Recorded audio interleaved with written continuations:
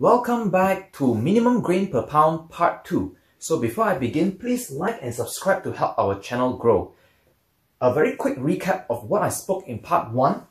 The definition of grain per pound, which is very simple, the arrow weight in grains divided by the bowl poundage at full draw. And I also talked about uh, things that don't really matter to the arrow weight, such as the point weight, the shaft spine, and the shaft grain per inch. Uh, the only thing that really matters for the arrow weight is how much it weighs when you put the entire arrow on a grain scale. That's it, the final arrow weight. And then also uh, for the bow poundage, various reasons why the bow poundage may not be what is rated. Uh, it's also it's possible to be both higher or lower than what is stated. As a result, when you make prediction, you, you make calculation of the bowl poundage, you need to include margin of error because uh, if you underestimate, it is bad for your bowl. So it's better to be overestimating rather than underestimating. Um, so now I'm gonna go into the second part, the correct way to measure the bowl's poundage. This is a mistake that a lot of people make, including experienced archers. So most of the time, the way that they measure the poundage, first you have to mark your draw length. They will pull the string back with an arrow, and then they will mark somewhere on the arrow to determine their draw length. For example, let's, for simplicity, let's agree that we're going to mark it at the belly side of the bow. So the draw length in this example here would be from the nock groove of the arrow to the belly of the bow. But there is a problem. Because our thumb actually draws slightly further behind the arrow. Okay, this is the maximum draw length where it's supported by our thumb. We are holding it back. The arrow sits above our thumb and therefore this distance L here, which represents the draw length, is actually shorter than our actual draw length. And the difference is, let's label it as X, which is the, dis the, the distance between the arrow nock groove and the actual string position. Okay, there's gonna be a distance there in which x is not zero. x is a positive number. However, after we have drawn the bow and marked the arrow length, when we check for the uh, bow's poundage, this is where a lot of people make a mistake. They will first measure that length L.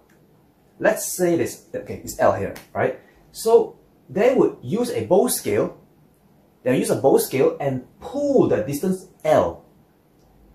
I think it's quite obvious now that they are making a mistake, right? Because you are checking the poundage at, at the length L, but you are actually drawing X plus L.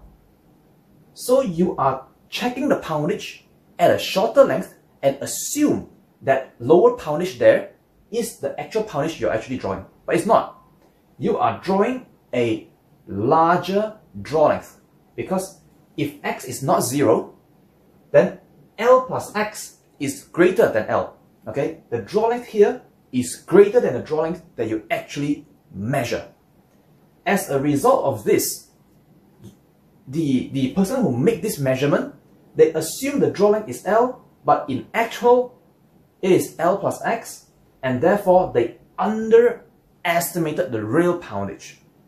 So in such a case, if you do not have a margin of error in your grain per pound, you are actually shooting below the minimum grain per pound because this distance here can be substantial depending on the length of your bow. For a bow that is very long, because the string angle is fairly straight, it is not very acute, it's not very sharp. As a result, this distance x here is smaller. But the shorter the bow is, the more acute this angle is, the more sharp it is. And therefore, this length here can be quite large. Uh, it would range somewhere between half an inch to almost an inch. Now, let's dive in into the minimum grain per pound. It is actually a tug of war between the energy storage versus cast efficiency. the greater the energy storage, the higher the grain per pound it require to transfer that energy into its arrow.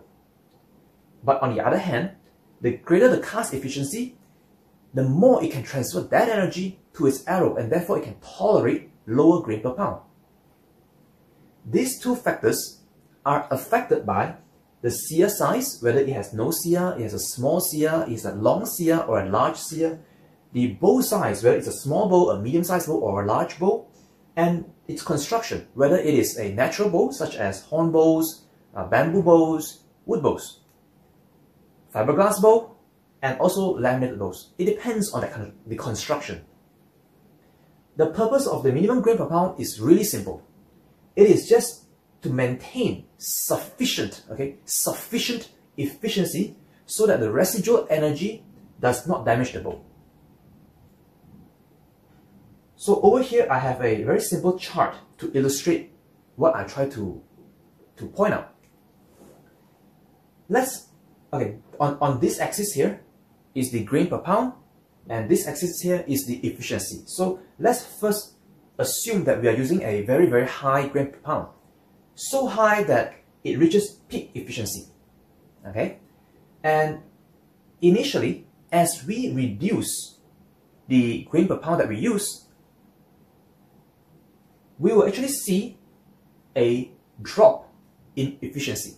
However, for a big change in grain per pound, you only have a very, very small change in the efficiency. Since you are losing efficiency, you also gain a little bit more hand shock. Plus, you will also gain arrow speed, reasonable amount of arrow speed. So you gain range. Okay, your your shooting range will increase. Your trajectory is flatter. So initially, at this point that is above the minimum grain per pound, it makes sense for you to cut down on the grain per pound that you use because now you can you can cut down a lot of the arrow weight. You only lose a small efficiency, you gain a little bit of hand shock, but you gain in speed. It makes sense. This is a good trade-off. But once you pass the minimum grain per pound, what you experience is for a small drop in grain per pound, there is a large drop. You can see this very steep right here. This is flat, this is steep. A small change in grain per pound, you have a large change in efficiency. You, you lose a lot of efficiency. And therefore, once you pass that point, you suddenly feel that there's a substantial increase in hand shock because there's a significant gain in the residual energy or the hand shock uh, is it's interchangeable because the residual energy directly brings the hand shock. Also, you will find that the arrow speed does not change much. It remains fairly the same, and that's the, that's because once you go below the minimum grain per pound, the bow is closer to its dry fire speed. Okay, the dry fire speed is basically if you're not shooting with any arrow, you have zero grain per pound, that's the maximum speed that the bow can launch. And the, the, the lower the grain per pound you use, the closer you are to its maximum speed, which is the dry fire speed. And when you are closer to this maximum speed, the gain is going to be very, very small, very minimal. So for a small change in grain per pound, you lose a lot of efficiency, you gain a lot of hand shock, but you don't really gain too much in arrow speed. So this is a bad trade-off. It doesn't make sense. It is a bad trade-off. On this side, where it's higher than the minimum grain per pound, is a good trade-off, but once it's below, it's a bad trade-off. We can also look at it from a bow failure point of view. Let's begin with, let's assume we're going to use a very high grain per pound initially. So initially, when we lower our grain per pound, you'll find that this part here is fairly flat, so the rate of failure does not increase substantially. So it makes sense that you use a lower arrow weight, get, get some arrow speed, and it doesn't affect your, your bow's durability that much.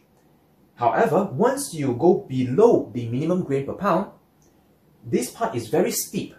You have a very sudden increase in the rate of failure. So it makes sense to use arrows on this side, which is higher than the minimum grain per pound. and it is a bad trade-off for anything below the minimum grain per pound. From this, from what I explained over here, it makes sense that if we were to include some margin of error, because this, this kind of underestimation can happen, we want to have some margin of error, and once we include this margin of error, it only makes sense to us to use anything above the minimum grain per pound and not anything lower. So, what if you use arrows below the minimum grain per pound required by the bowyer or the seller? Well, you void the warranty. And I'm going to give an analogy why it is. So let's say you bought a new car and the car is rated to a certain octane rating. Let's say it's RON 95 in my country, that would be the regular. So if you're going to fill this car up with a RON 97, what's going to happen? Well, it's fine. There's no problem if you use above the minimum speci uh, specifications. But if you're going to fill up with a RON 91 below the minimum specifications, or if you're going to fill up with diesel, the car is not going to work. Okay, something is going to break down.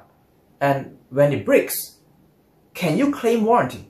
No, right? Because this is outright from your own stupidity. So you cannot claim warranty for things that you damage it out of your own stupidity. And that's the same as uh, for arrows.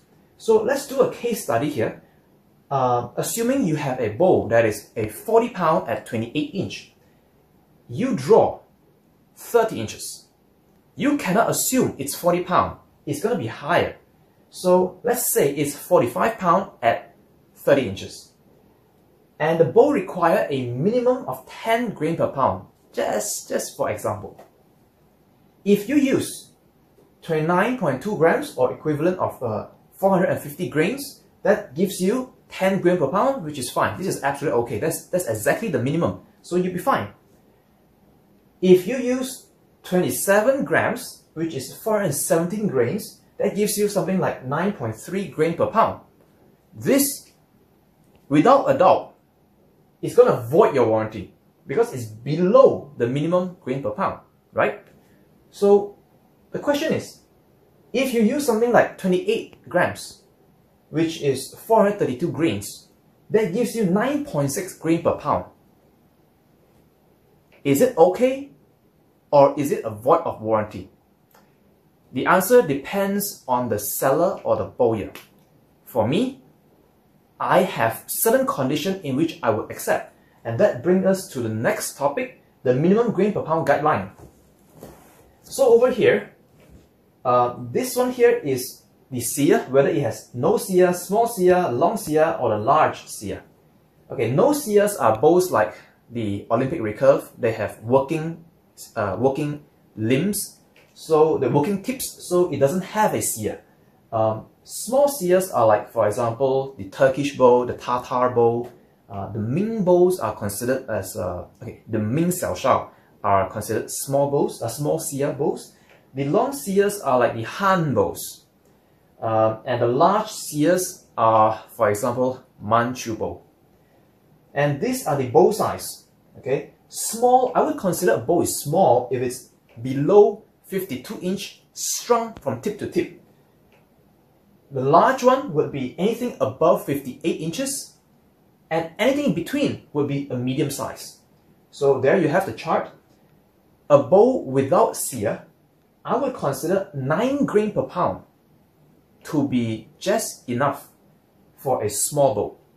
And as the bow size increase, you can see that I require a higher grain per pound. I increase by 1 for, for the, as you increase the size small siyah starts from 10. So this will be, for example, a Turkish bow, a Tatar bow, a small bow plus a small siyah. I will start with 10 grain per pound. And if the size increases, the, the grain per pound also increase. For long siyah, it's quite rare to see the small size. So I would say they start from here. Uh, a long siyah bowl with a medium size, I would say that 12 grain per pound would be ideal. And uh, Anything larger would require 13. Large siyahs such as the Manchu, well, I have not seen a small one, but uh, theoretically that would be the number. Uh, the Qinghai version, the shorter version, you can use 14 grain per pound, and the large version, the full-scale Manchu bowl, I recommend 15. These are for laminated bowls, okay, laminated bowls. If you use fiberglass bowl, because of its construction, it is almost indestructible. It is not completely indestructible, but uh, it has a very high durability, so it, it can withstand a lower grain per pound. So in the case of a solid fiberglass bowl, I would reduce this number by 20%. A natural bowl such as horn bowl or bamboo bowl, uh, I would also reduce the minimum required grain per pound by 20%. And if the bowl stacks, okay, if the bowl stacks, I will reduce by 10%. Because a stacking bowl actually has a low energy storage. So because it has low energy storage, it cannot cast arrows very fast. So uh, you don't need as high grain per pound to absorb that amount of energy storage. You can get away with a lower arrow weight. Uh, example, Korean bows. A lot of people thought Korean bows are smooth. No. Korean bows stacks, stacks badly. So you can use lower grain per pound on Korean bows. Okay, because they actually stack. Look at the force draw curve, they stack. Um, so I'm going to give you some example of the bows that I personally use. Uh, for example, let's look at this one. This, this is the Manchu bow, the Qing Dragon 2. This is the Manchu bow. So pairing with this one, I actually use very heavy arrows. This one here, which is uh, 43 grams. Uh, because at my full draw, that's going to be 43 pounds. So I'm using somewhere around 15 grain per pound for my setup. And my bow, this one is uh, from 2016 until now. It's fine. Uh, it doesn't break my bow. Uh, another one, um, let's see, this one. This bow, the um, Spearman Emperor bow it has a long siyah. I consider this to be a long siyah bow. You can see the size of the siyahs. It starts from here, so that's very long, right? Um, so this bow here is a 34 pound. Uh, at my full draw, gives me something like 35, 36 pounds. Um, I use 27 grams arrows, and that puts me around 12 grain per pound because this is a long siyah bow, a medium size, so 12 gram per pound. And see, this one I've been using it since um, 2018 until now. Um, arrows that I usually use with this bow, this one here. And then the next one, maybe I'm going to show, oh, this one.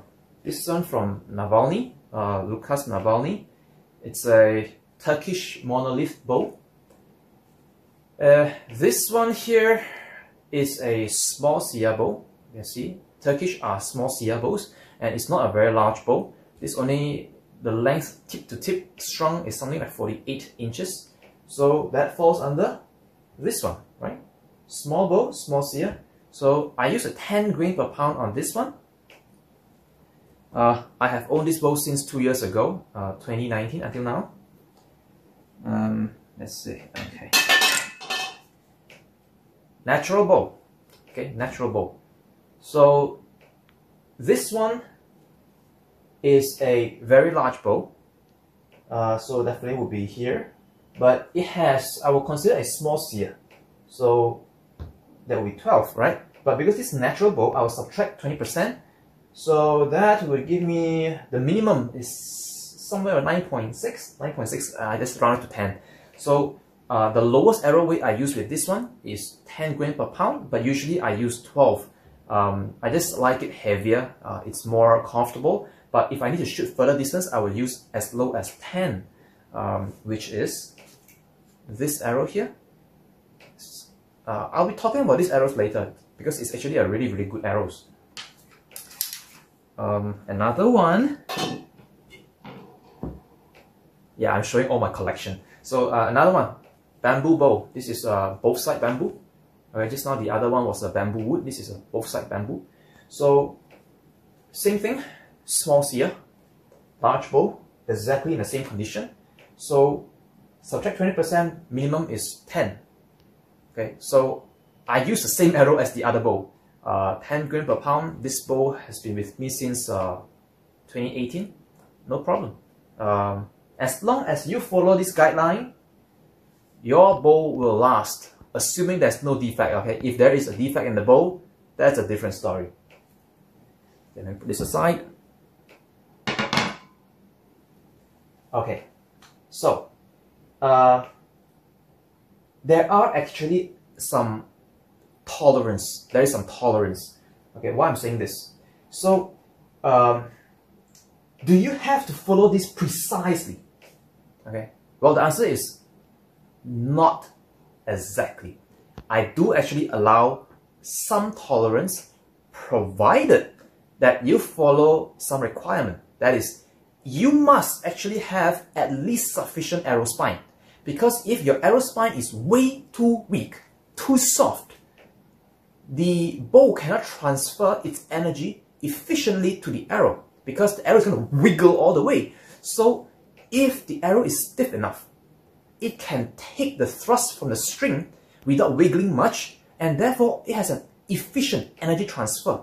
In that case, I'll give it some exception. I will allow a 0.5 grain per pound below my minimum.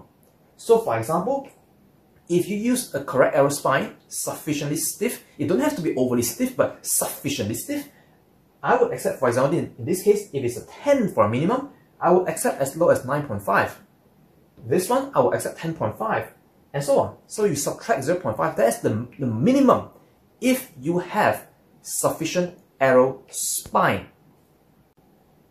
So that leads us back to this case here, 9.6 grain per pound. Is it okay or not?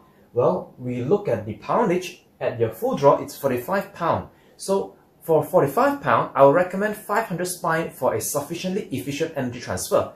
So if you have 500 spine, 400 spine, anything stiff, that would be sufficiently efficient and therefore I will accept this 9.6 because it's within my 0.5 grain per pound tolerance. However, if you are using 600 spine, the energy transfer is not as efficient.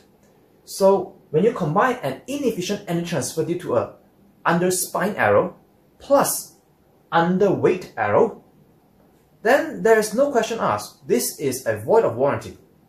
It is important to use both the correct spine and correct weight arrows for your bow.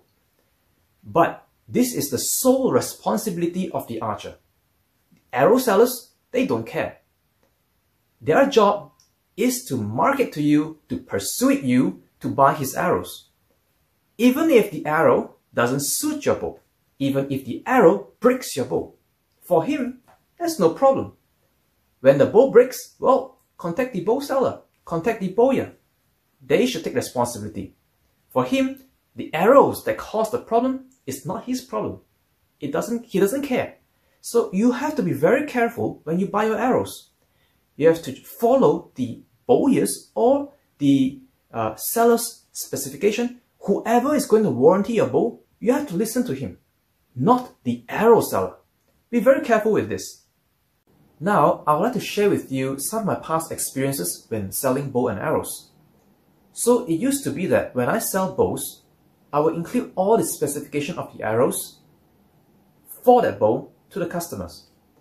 So they have the full freedom to pick whichever brand, whichever seller that they like to buy the arrows as long as the arrows meet the, the specifications that are required. However, this backfires because the moment they receive the bow or the moment they leave the shop, all that goes out the window. They just buy whichever arrow they can find or whichever arrow is cheapest or whichever arrow that a friend recommends. And when the bow breaks, I ask them what spine and weight are, you, they, are they using. It always comes in under spine and under weight. This is so frustrating to the point that I decided to, to create my own brand of arrows, which I call the Taurus Carbon Arrows. This is purely born out of being fed up with what is being sold by the market. The arrows that we offer is really simple. For the, there, there are five weight options. For the 600 spine, we have two weight options, like this. For the 500 spine, another two weight options, like this. And for the 400 spine, there's one weight option, like this. It is available in both 3 and 4 fletched.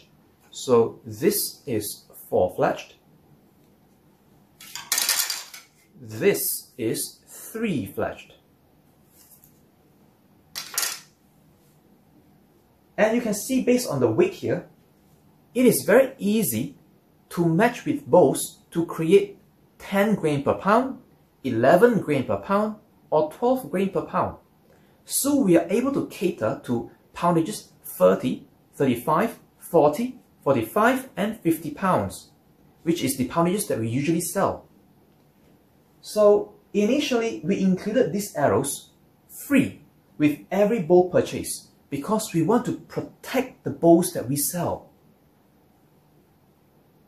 Since customers always give us the excuse that they couldn't find suitable arrows and therefore they use these uh, non, non-suitable arrows. So now we include them free, they have no more excuse. They cannot argue that they cannot source for a suitable arrow anymore because the arrow that we give them free is well matched in spine to the bow, the bow's poundage. It is also well matched in weight to the bow's poundage. The spine tolerance is very good, plus minus 20. The weight tolerance is fantastic at just plus minus 0.1 gram or 2 grains. It is uh, high front of center, so let me show you one of them. It is high front of center, so that it is extremely forgiving. Okay. Very, very forgiving arrow. It is extremely durable because this tip here, it is a deep tang design. So um, what shows up out here is actually very minimal. I keep it minimal. Everything is inside. That's why the front here is extremely strong. Uh, let me show you another one. This is actually the newer design. So the point is even smaller so that we have we can push more of the material inside creating a deeper tang. So it is extremely strong when uh, upon frontal impact. The fletchings, uh, this is this is fairly interesting and uh, this is actually more of a recent development.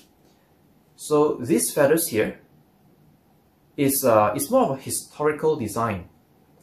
They have a flat top.